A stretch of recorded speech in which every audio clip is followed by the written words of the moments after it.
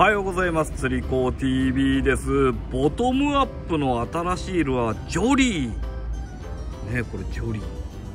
一つ買うことができました。気になっていたねルアーなんでね、えー、早速釣り場にも持っていきたいんですけどまずはねどんな動きかななんていう感じでね、えー、動画を回してみました。パッケージを見ると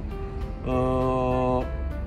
ダイビングレンジが0から0.5ってサブサーフィースを攻めるルアーだよって感じですかね。で 75mm だよというところとウェイトは 9.2g でタイプがこれあスローシンキングなんですね。ちょっと沈んでいくようなそういうルアーなんですね。あこの手の形でスローシンキングっていうの自分初めてかな。ちょっと気になりますね。で見ていくとこれね えー価格がですね1個2750円なかなか なかなかだなと思ったんですけども、えー、どうしても欲しかったんでね1つ買ってみました。でカラーはですね GB クラウンっていう感じですね。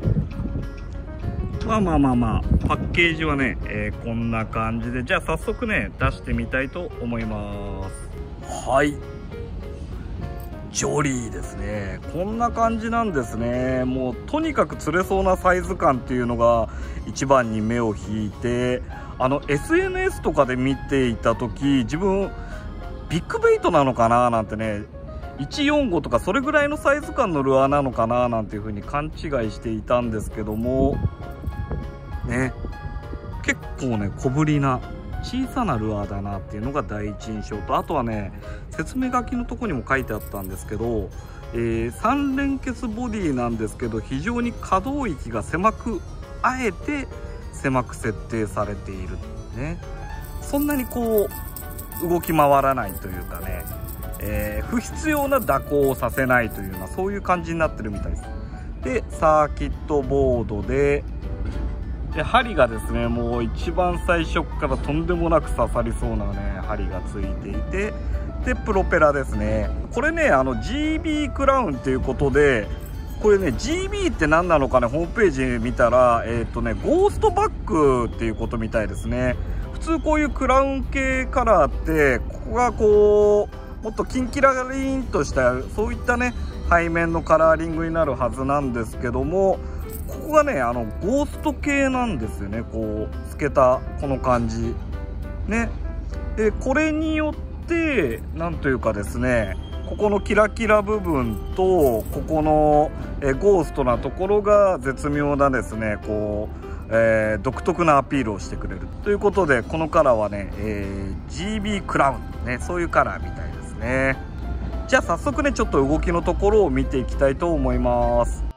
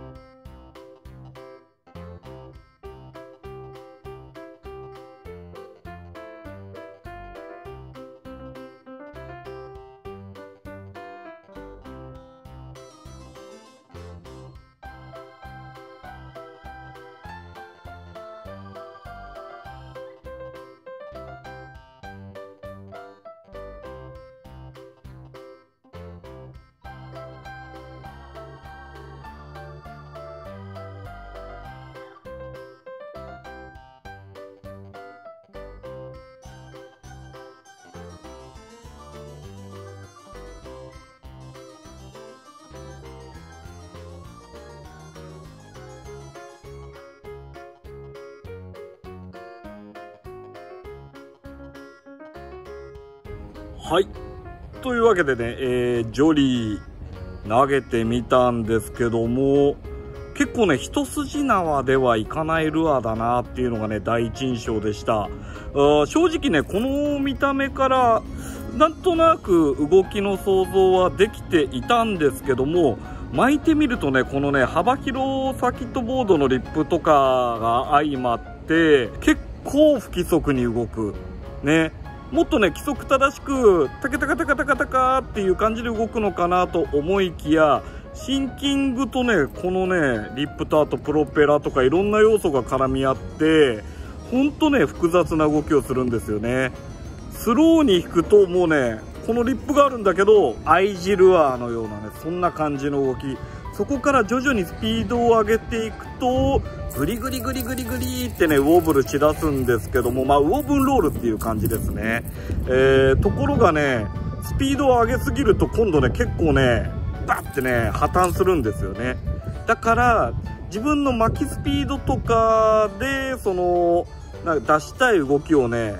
調整していけるルアーっていう感じですかね。I 字から始まってローリング始まったそこより上げるとブレンって感じでね水面終わるようなねこうパニックアクションに移行してだからその自分の好きなスピード動きの時に一定に引くともちろんね規則正しくもね泳いできてくれるんですけども。あとはシンキングなんでうーとは言ってももうちょっと浮いてるかなと思ったらね思いのほかねスーッとね入ってきます。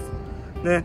まあ、ここら辺をどう使いこなすか早くね釣り場に持って行ってみたいです。やはりねあの川村幸太郎さんが作り上げるルアーっていうことでうーんギミックがねたくさん動きの中のねギミックがたくさんあるなっていう印象でございました。はい。というわけで、えー、本日の釣り子 TV はこちら、えー、ボトムアップからね新しく登場したルアー、えー、ジョリー。えこれをね開封してちょっと投げてみたいってこういった動画でした。はい釣り子 TV でした。また会おうぜ。